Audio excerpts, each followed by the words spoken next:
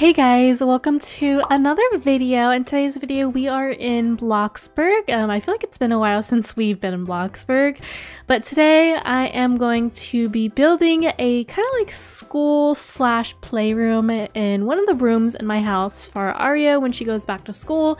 This year we are doing some homeschooling, so um, I decided to have a teacher, like a homeschool teacher, come here to teach her, and I thought I would provide a great teaching environment for her and that's what we're gonna be doing today is just building like a schoolroom.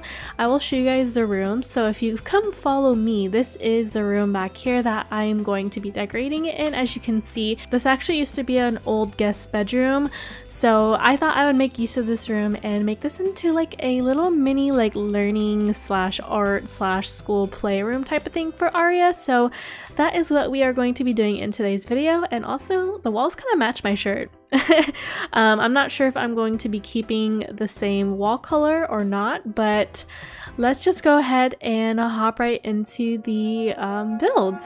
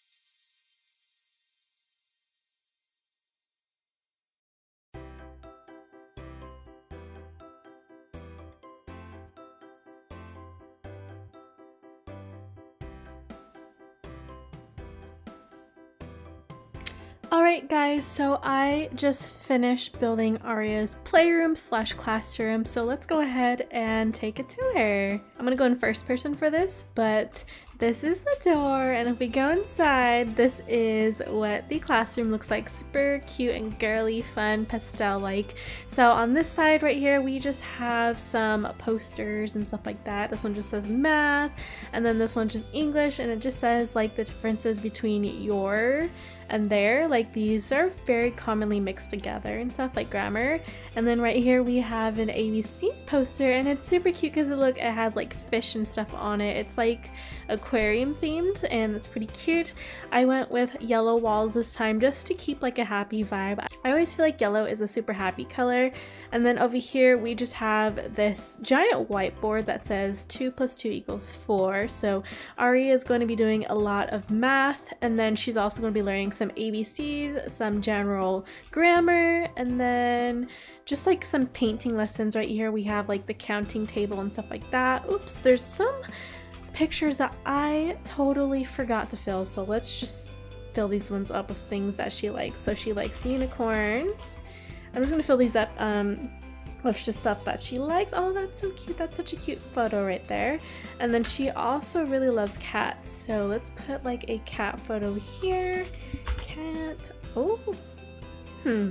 What cat photo should we put here that is super cute? I kind of like this one where they're two like hugging and stuff. That's super cute. Right here we just have a rainbow and then also a drawing that Aria drew. Um, it's kind of random, but I think it's super cute and I decided to hang it up anyways. This is where Aria is going to be sitting down with her teacher and she's going to be learning some new stuff. So we have a bunch of books, we have a TV or like an entertainment center right here just in case she wanted to um, have a little mini break or if the teacher decides to have like educational videos on or stuff like that. So really the teacher can make use of anything in this room and then over here is where Aria gets to paint and draw. Let's change this to like another thing like let's do shapes. That's another thing that Aria is going to be learning is like shapes and stuff like that. So maybe this one's pretty cool. This one has like different shapes. We have circles, triangles, um, arrows, stars, and stuff like that. So yeah, that is Aria's um, play slash classroom. It's kind of bright in here. Let me turn off the lights. I don't know if that makes anything better, but yeah, that is Aria's little playroom. It's super cute. I'm so excited for her to start going back to school. Um, I'm really happy that she's able to just go back to school and stay home, and I know that she'll be okay here. Uh, oh, okay, so this I don't know what I have going on right here. I thought I could make a little rug that goes to this rug and I don't know if that looks good at all. So I think what I'm going to do is I'm going to delete that. It's okay sometimes when you're building, you never know if something looks really good until you actually go see it in person. So I'm going to delete those ones and I might actually just keep this one right here. I kind of like how that one looks. Um, just simple stuff like that. Oh my gosh, I'm like super sad too. Look at that. I'm super sad to go back to school. Oh my gosh, I go back to school next Monday and I'm totally not ready. I'm in college, so like I don't have a super demanding schedule, but still I have things that I need to do that require reading and writing in discussion boards and group projects and case studies and stuff like that. So yeah, um, this is totally how I feel about school right now.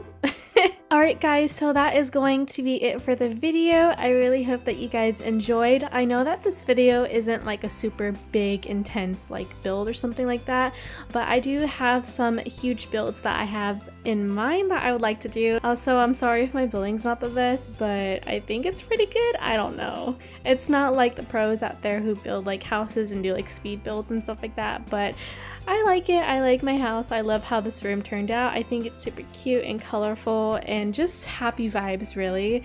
And I think that Aria is really going to like this. So stay tuned for like a homeschool slash schooling routine for Aria. I know that you guys really like role plays, so stay tuned for that. Thank you guys so much for watching. I hope you guys enjoyed, and I will see you guys in my next video. Bye guys!